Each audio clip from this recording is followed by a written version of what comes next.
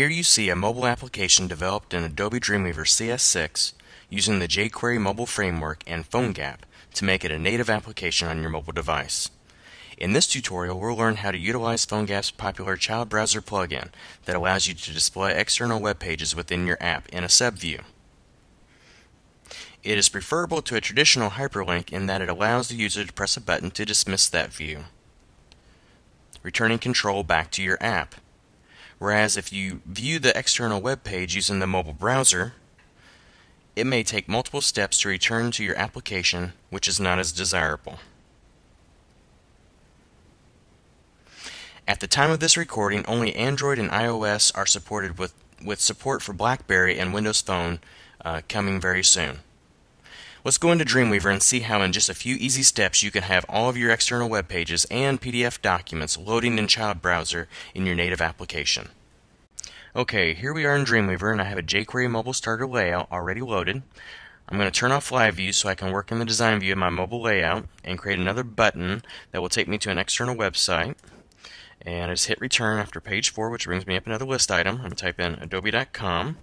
I'm then going to highlight the text, come down to my properties panel, and inside the link box I'm going to put in a pound symbol. Which when I hit return um, analyzing my code view over here, um, you can see that I have a URL and it's just going to pound.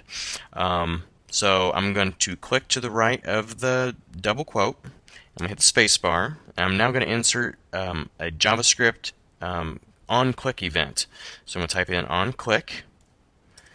And from here I'm going to type in the following JavaScript. window.plugins.child browser dot show web page and then parentheses single quote and then after the single quote I'm going to type in my web address which in this case is www.adobe.com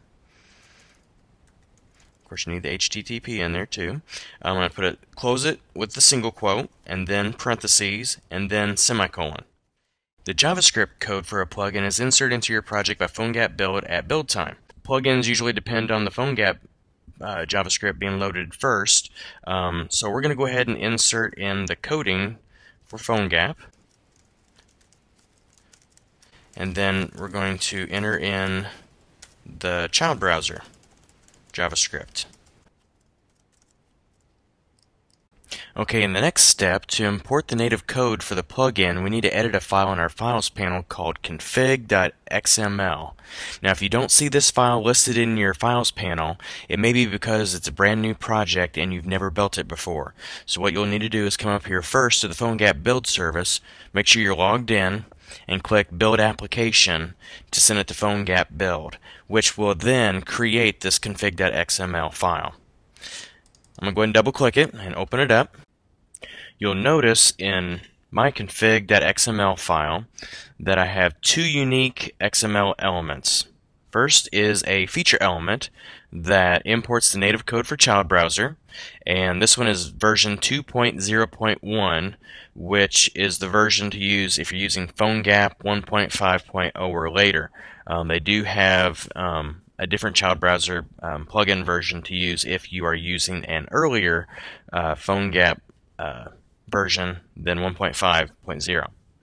Um, so you need to make sure you have the right version here in this complete code. Um, the second thing you need is this access element. And this is responsible for allowing your native application to have, have access to um, any external resource from the web. After you have finished entering in the two elements into the config.xml file, all you have left to do is to save this file and also the index.html file before sending them to PhoneGap build. Now that they're saved, let's come over to the PhoneGap build service panel and we'll click on the rebuild application button.